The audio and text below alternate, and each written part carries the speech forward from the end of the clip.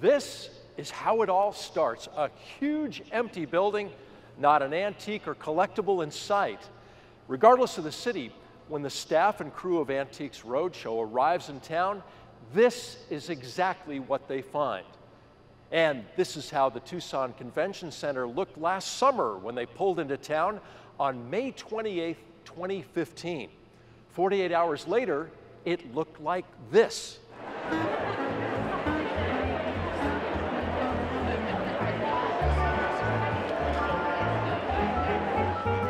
Welcome to a special edition of Arizona Illustrated, behind the scenes at Antiques Roadshow in Tucson.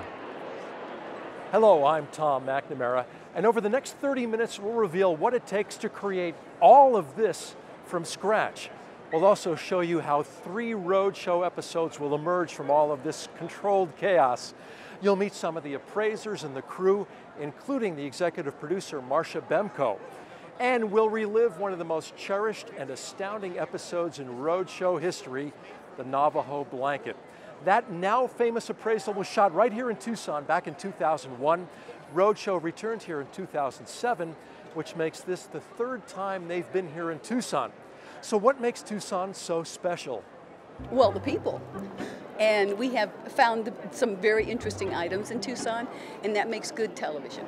And the excitement level is here, and the city is absolutely beautiful, and we're treated very, very well. Plus, you happen to be in a very convenient geographic location. And that is the truth of it. We like we have to tour across the country. We like to go west to east if we can, and uh, we need available convention center space. And then, of course, I remember the food. Because you're always thinking about Tucson. Great, I can't wait to get some food out there. Nearly a year before the camera crews arrive, six cities are chosen. Roadshow Advance staff visit each of them to work out logistics and collaborate with the local PBS station, like AZPM, to promote and staff the event. Then the heavy lifting begins. The trucks rolled in overnight, and today this huge empty space has to become a television studio for about 5,000 people overnight. This is the stuff people don't get to see. It takes us all day to get ready for Roadshow.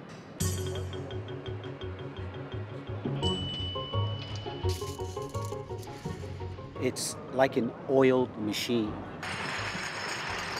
Every city we go to, the truck comes in, we unload the truck, we have to put up the truss, all of the pieces that go, the cameras, etc. I mean, it's just a routine that we go through from city to city. We're like a family. It's a really tight-knit group. We all look forward to working with each other, but we also rely on each other, so there's a chemistry. We travel with about 55 staff and crew members. Then we pick up about 15 to 20 um, production people locally and then we have 125 volunteers from the local area that will help us. So it's and then 75 to 80 appraisers. It's a it's a huge group. And let's see, where are we with the lighting truss is not up, as you say. That lighting truss is really going to get high, but it has to get all set up. Raising the truss is when all the lighting fixtures and all the electronics and cables are actually in place. We have to make sure that everything's working before we actually take the truss up. But once the truss goes up, um, we're, we're in pretty good shape at that point. 12 feet. Ready? One, two, three. Friday is really more of a setup day. We sort of go through our routine. But the challenge is on Saturday. We open up the doors, and then that's when the, the madness and the excitement all happens. I just hope that we see a lot of really good stories. I hope we get, you know, to meet a lot of people that get a chance to tell their story on TV. I can't imagine what's going to be here, but I can't wait to see.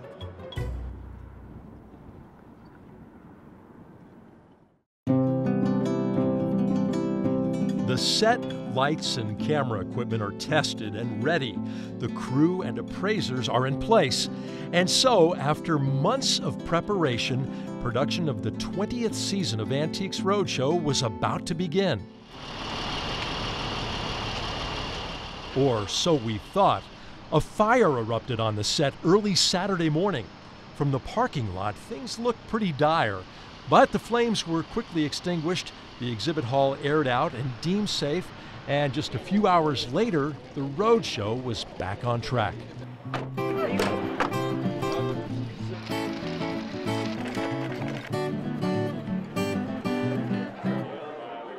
It's early on a warm Saturday morning, and people have come from all over southern Arizona to have their items appraised and maybe, just maybe, appear on the show.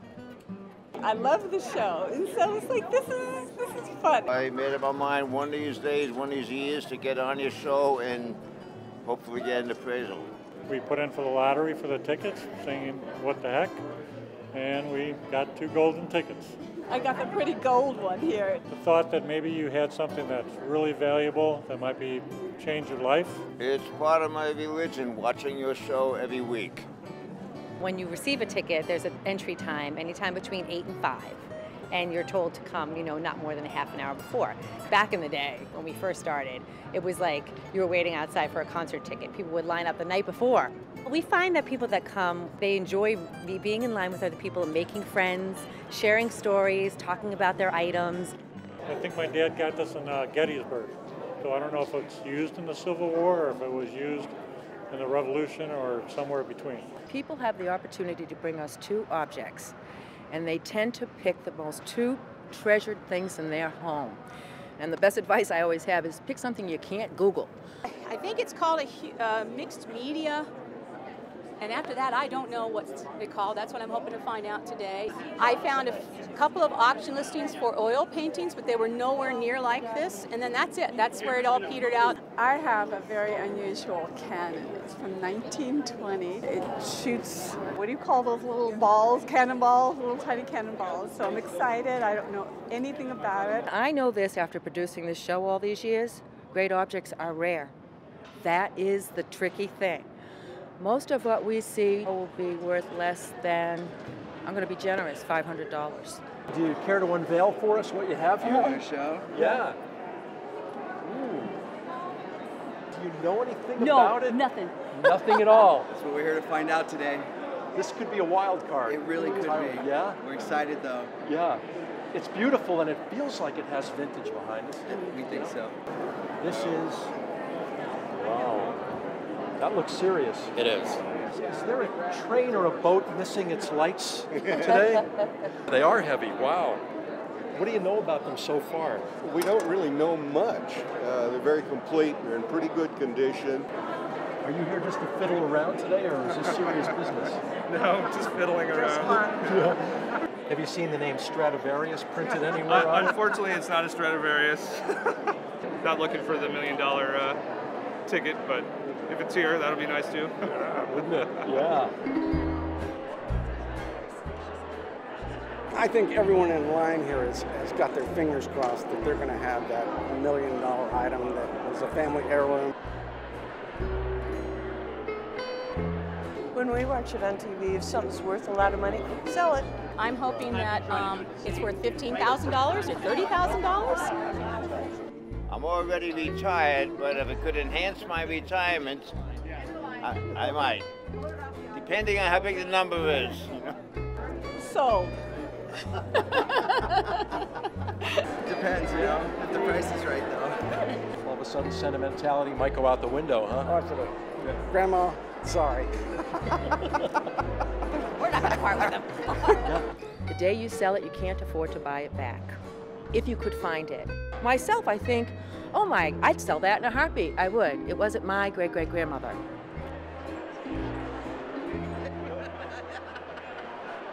All day long, people clutching their items snake towards and into the exhibit hall where they join hundreds of others, all still pondering potential wealth and, if so, whether or not to sell. Until they arrive at the first official stop in the roadshow appraisal process, the generalist table, or triage. Good morning, how are you? Hi, welcome to the Antiques Roadshow. I don't know, tribal? Yeah, I'm, I'm, thinking in that same same ball game there. And then what else do you have? I'm scratching my head. It's also metal work. I think we're going to start out with the collectibles table. Collectibles? Yeah. Here, an appraiser looks at each object and determines which of 24 categories it fits into, so a specialist can take a closer look. All right, thank you so much. Once you reach inside the auditorium with your item, you're met by a literal army of volunteers who are here to take you from what's called the triage area all the way over there in the background when you get into another line to meet the appraiser. So I'm going to send you over to this gentleman and he'll help you find your spot. Asian art should be a short line. Let's go over there. Okay. You want to do that? Yeah. Awesome. Maybe Nice I'll to find meet out you. this is not Asian.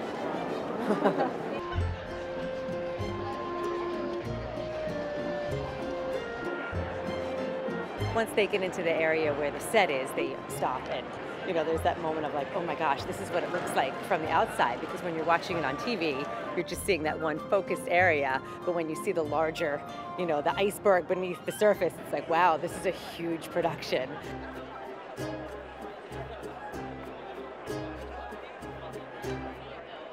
One of the keys to success for the Antiques Roadshow is the appraisers.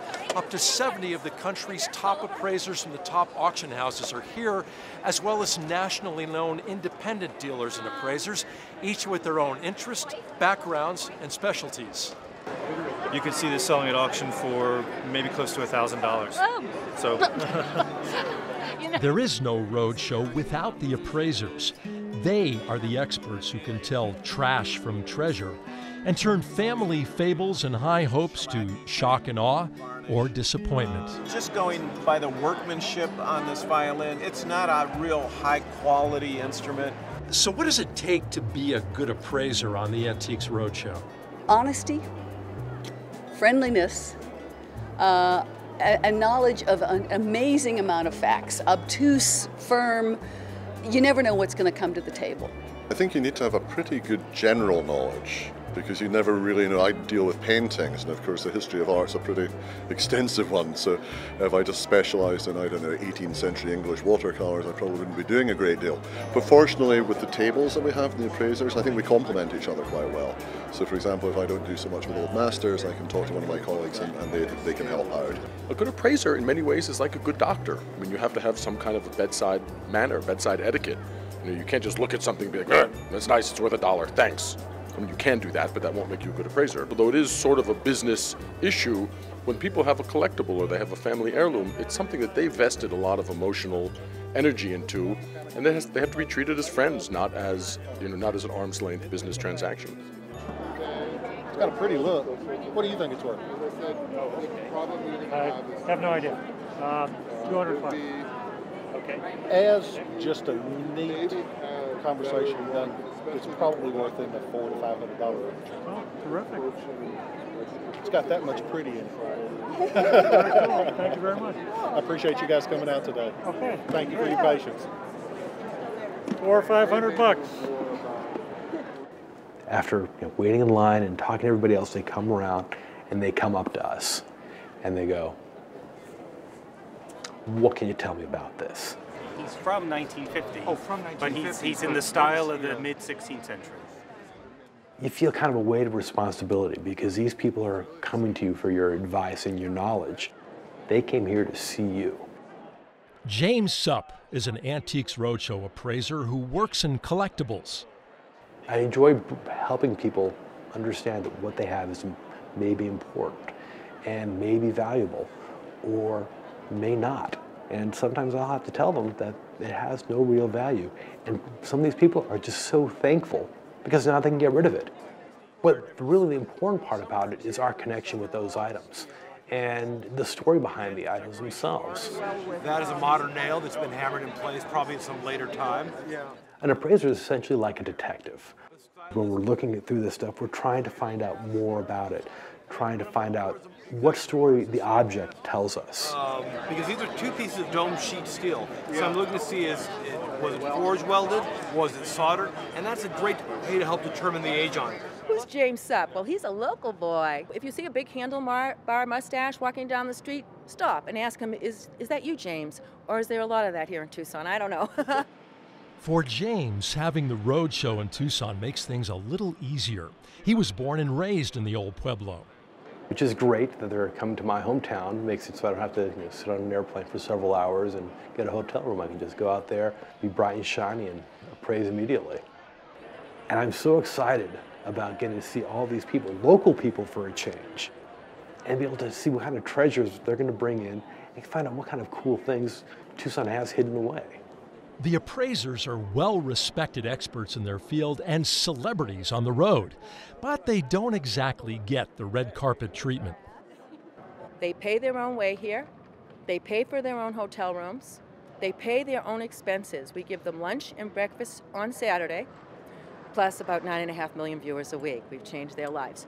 It's hard to monetize what it's worth, but the roadshow is a number of things. It's great publicity, it's great recognition, it gives us great credibility. We all have day jobs. I run an auction house in New York City, other appraisers have galleries, uh, auction houses of their own. James runs his own appraisal and conservation business out of Tucson. But for him, one of the draws of being a roadshow appraiser is the company of his fellow appraisers. And I get to work on the collectibles table surrounded by some of the best personalities in the business. It always amazes me how much knowledge that they have in so many different areas. These great appraisers who love teaching, love talking, and love people. Many roadshow appraisers are sporting their own look with ponytails, bow ties, and the occasional mustache. One furry faced friend who's given James a run for his money, Nicholas Lowry. He has got that evil uh, ringmaster thing going on, which is so contrary to his character. He is just such a great guy. He's got this wonderful little black mustache, and he looks like a ringmaster. It's wonderful. He has the whole Mephistophelian thing going. He's got the mustache, he's got the beard. It's sort of like Lenin meets Lucifer. He is sort of the gold standard, the paragon of facial hair among roadshow appraisers, and the rest of us strive to sort of keep up with him uh, vainly. By day's end, Antiques Roadshow appraisers will have met with upwards of two to three hundred guests. And each one of them has their own magical, wonderful story. My colleagues and I, we always try to think about these people are here for us, but the only reason we're here is because of them. Approximately 1,000 objects are appraised each and every hour. For those who've made it this far, it's the moment they've been waiting for. I don't know anything about it except it's really, really heavy. It's a wonderful decorative piece. To a collector, it's not a full-size gun. So, we've got the entire roadshow working for the auction estimate today, which is something in the range of two to three thousand or twenty-five percent. Really, for all of that work and everything? All of that. They'll usually sell anywhere from that two to four hundred dollars. Darn it! I was hoping for the big money. I'm sorry. That's no. They can't say we didn't try. You know what? It looks really nice on my dresser. That's a good thing. Of the thousands of objects appraised at each event, approximately 150 are recorded for broadcast or web. About 60 will appear on the Antiques Roadshow. Behind the scenes, in the midst of all the hustle and bustle, Antiques Roadshow staff are hyper focused at finding those special items that will make it to the show. It sounds like a full episode. They're the ones who will go around and listen to the appraisers pitch an object. Most people who come in tomorrow are going to find out, let's say they bring in a glass. They're going to learn that their wine glass is circa 2010 and it's worth 5 to $10. It's used to hold liquid, usually wine. Do you have any other questions? It's done. The appraisal's over. But let's say you brought in the golden goblet, okay, instead of that. Instead, the appraiser's going to say, Would you wait for a producer? I think we, I think we can make it work, but your call. It's the producers who determine if the appraisal should be recorded for broadcast. And I want do you to have an appraisal while the camera's rolling. Okay? I think it's such a great story. Can't talk to anybody about it now. Okay. Until we get the cameras rolling. Now it's TV time. Norm, have a great time. Be yourself. You're going to do great. The lucky guests are escorted to one of four on camera appraisal sites. All of the careful pre production work that took place yesterday is now paying off as each set is pre lit and ready to roll. Those chosen for an on camera appraisal have been told nothing about their object or its possible value. The first time they learn anything is when the camera is already rolling. Well, I have to keep my poker face on, and I can't smile, or I can't sort of start drooling or rubbing my hands. Oh, it's a nice piece you have. I want to appraise. You can't do that as much as you'd like, so you really have to keep it cool. So yeah, it really depends what comes in.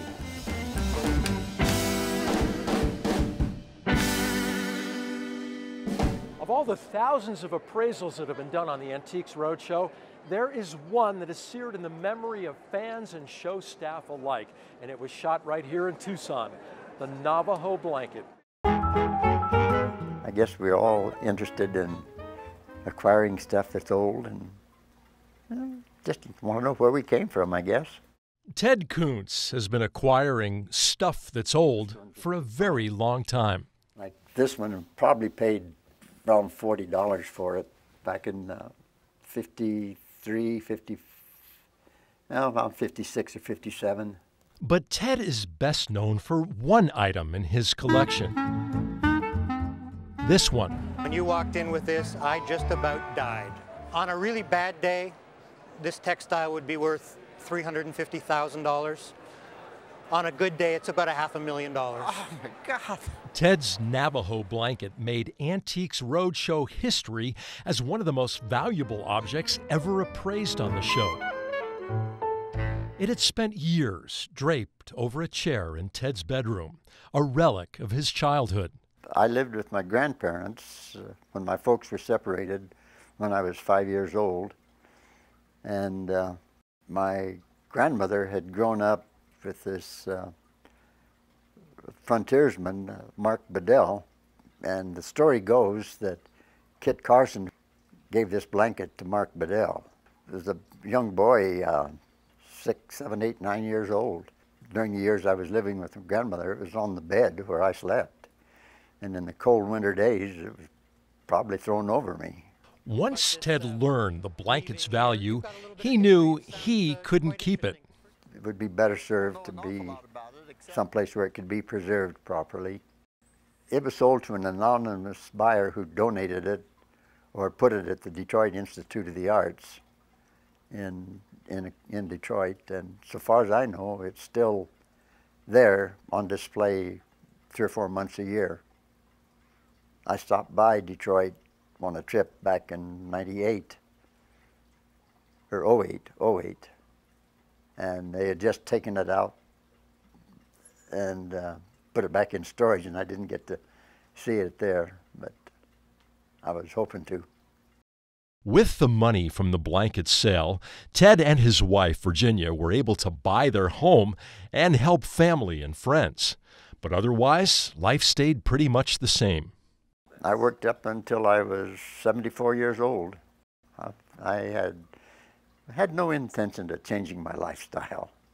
Our wedding picture. Now, the Navajo blanket provides the Kuntzes uh-huh. with a safety net for medical expenses and hard times. Well, I've gone blind, pretty much totally blind. I can see to get around, so I'm totally dependent on somebody to drive me any place I want to go. And help do a lot of things that I took for granted in my younger years that I could no longer do. I, so I have to sit back in the easy chair taking care of my wife. Care is expensive. it, it does add up. But despite his difficulties, Ted Kuntz still finds joy in collecting bits and pieces of history just in case take care of the old things, and someday they'll be valuable. You never know what's going to produce value. It's extremely rare. It is the most important thing that's coming. Almost unbelievable that I could have something that valuable. This is just pure linear design. Surprise of my life. I had no idea. I just laying on the back of a chair. Well, sir, you have a national treasure. Wow. A national treasure. Gee.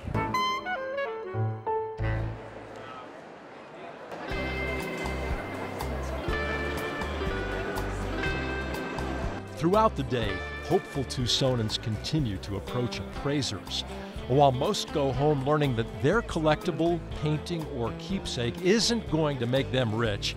They all leave knowing a little more about it, and they share a memory they wouldn't trade for the world. I don't know if it's going to pay my, for my brand new car yet, but uh, we'll see. It ended up being from a Hungarian artist. It's about, uh, what did he say, from the 1940s? And what did he appraise it at? Between three and five hundred dollars. A bit better than nothing. Bye. Come back to Tucson. At least I know something about the gun. Uh, four to 500 bucks, a lot more than I thought it would be. I, you know, I wasn't expecting a million, but hoping. I had so much fun. My sister and I, we were just going through the lines. Everyone loved the cannon. They asked to take pictures of the cannon. Oh no, it was a pretty good day. By the end of the day, in every city they visit, the crew will have captured enough appraisals to produce three shows. Then they'll spend the fall, winter, and spring editing, screening, and re editing a season's worth of episodes. All the while making plans for the next season of the Antiques Roadshow. Watching the incredibly syncopated yet personal process that is the Antiques Roadshow is like watching an orchestra perform on a 90,000 square foot stage. 5,000 people with up to 10,000 items to be appraised. And what started out early this morning won't be finished until 7.30 or 8.30 in the evening. And while even then it'll still look pretty much like this, by tomorrow afternoon, the Antiques Roadshow is off to another city. Thank you for watching this special edition of Arizona Illustrated. See you soon. Tucson, thanks. It's been a great weekend. Had a super time. Toodaloo, Tucson. Thank you so much for your warm welcome, and I hope we'll be back again soon. Thank you, Tucson. Goodbye. Goodbye, Tucson. We'll be back. You're hot, Tucson. But we enjoy it anyway, okay? Thanks for having us here at PBS GBH in Boston. See you again soon. Roadshow. Take care. All right. Thanks, Ron. Thank you. Bye-bye.